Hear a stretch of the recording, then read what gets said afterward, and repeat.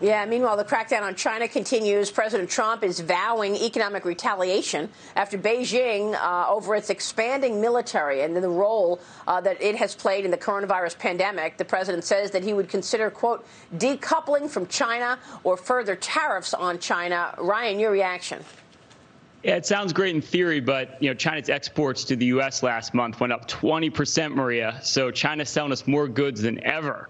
Uh, so I think it's good rhetoric for you know coming into the election, which is you know we're in that season now. But I think the bottom line is, I mean, if anything, trade has actually been amped up, and you know, frankly, that phase one trade deal actually worked really, really well. We're not going tit for tat with tariffs anymore, um, and you're seeing you know even China's buying more agricultural goods from the U.S.